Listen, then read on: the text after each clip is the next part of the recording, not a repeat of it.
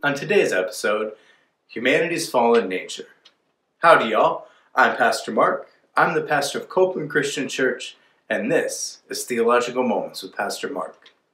Well, hello, I'm glad to be back with you all. Today we're going to talk about uh, human nature, what we call the fall and the consequences thereof. We're going to focus especially on the fact that humanity needs a Savior.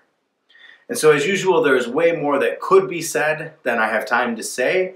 So, we're just going to use some broader strokes. Um, we want to talk about just general Orthodox uh, views. Most of what we're talking about can be drawn from Genesis 1 through 3. Um, I'm going to reference a couple other specific scriptures, but in general, that's where I'm pulling from. So, God created the heavens and the earth and everything in them.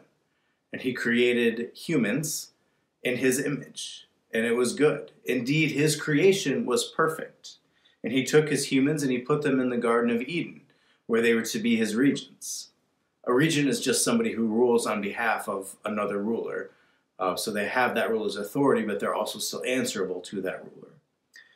And so Adam and Eve were placed into God's perfect creation, and they were to rule and reign over it and subdue it and extend the garden throughout all of the earth. And they could eat anything from the garden that they wanted, except the fruit from the tree of the knowledge of good and evil. Pretty simple, right? But one day, the serpent was serpenting along, and he came across Eve, and he says to Eve, Isn't that fruit look good? And Eve said, Sure. And there's a lot more to the story, but we know that Eve ate the fruit. And then she gave some to Adam, who was with her. And this act of disobedience, eating the fruit that God commanded them not to, is what we refer to as the fall. This brought sin and death into the world, which has since marred God's perfect creation. And so this fall was an all encompassing act Genesis 3:17 makes clear that even the ground was cursed because of Adam. Paul in Romans 8:20 reiterates the same concept where he talks about all of creation groans as if in birth pains since the fall.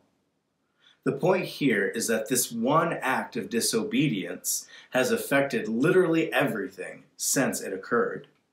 And it is the catalyst for every evil, every bad thing in the world whether we're talking about earthquakes and floods and famines, hurricanes, natural disasters, or weeds and thistles and thorns, even to human nature, uh, lies and selfishness and murder, wars, all of that. Literally every evil, bad thing stems from the fall. So the consequence of the fall was death. Well, let me give you a little bit different definition. I got this from a footnote in the NET Bible. Uh, it says that death is essentially separation.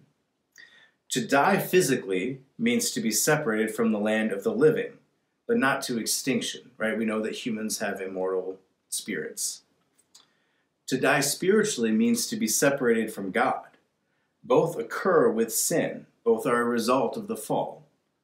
Although the physical separation, uh, the process of dying, that is, isn't instant. It takes however many years.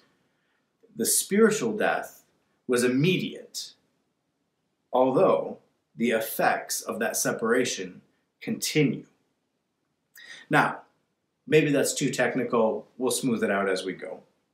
You may have heard the argument that Adam and Eve, they didn't drop dead right that instant. So when it says death was the consequence, it can't mean physical death. That's not correct. That's not reading the whole of Genesis 3 correctly.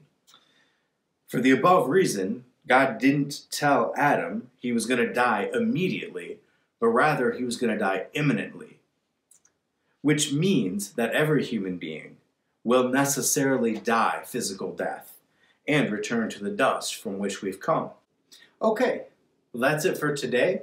Thanks for watching. I appreciate you taking the time to do so.